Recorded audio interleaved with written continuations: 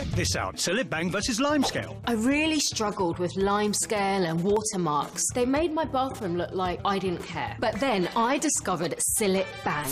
It powers through limescale and watermarks. And I love the smell too. Fresh and clean. Bang and the limescale is gone.